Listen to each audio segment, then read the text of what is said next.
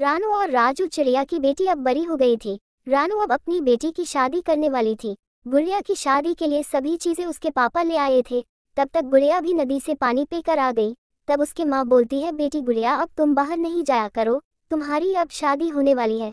गुड़िया बोलती है, माँ, मैं नदी पर पानी पीने भी नहीं जाओ रानू बोलती है, बेटी, पानी पीने जाओ, मगर जल्दी आ जाया करो।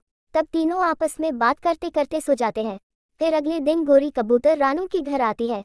रानू से पूछती है, रानू अपनी गुड़िया की शादी कब है? तब रानू बोलती है, गोरी बहन गुड़िया की शादी कल ही है। तब तक गुड़िया भी वहाँ पर आ जाती है। रानू बोलती है, गुड़िया तुम घर पर ही रहना पापा, तुम्हारे लिए गहने लाने गए हैं। तुम कहीं बाहर नहीं चले जाना। मैं और गोरी बहन नदी पर से आते हैं पानी पीकर। तब गुड़िया सोचती है कि माँ को कैसे बताऊँ कि मैं किसी और से प्यार करती हूँ। तब तक गुड़िया जिससे प्यार करती थी वो वह पर आ जाता है। गुड़िया उससे पूछती है, चंदू, क्या आपकी माँ मान गई हमारी शादी के लिए?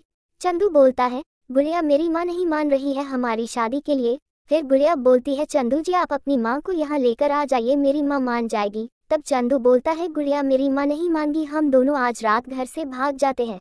धीरे धीरे सब मान जाएगी, तब हम वापस आ जाएँगे। गुड़िया बोलती है, ठीक है, चंदू जी, मैं आ जाऊँगी। चंदू बोलता है कि गुड़िया तुम्हारे पापा जो गहने और सामान लाए हैं, वो भी आपने साथ लेते आना, फिर रात हो जाती है। सब सो जाते हैं तब गुड़िया उठकर अपनी माँ पापा को देखती है। फिर वहाँ से अपने गहने और सारा सामान लेकर चली जाती है। फिर चंदू और गुड़िया एक जगह छिपकर रहने लगते हैं। कुछ दिन हो जाता है तब एक दिन गुड़िया देखती है कि चंदू जी है ही नहीं। वहाँ एक चिट्ठी रखी हुई थी। उसमें लिखा था गुड़िया मैं तुमसे शादी नहीं कर सकता हूँ। मैं जा रहा हूँ।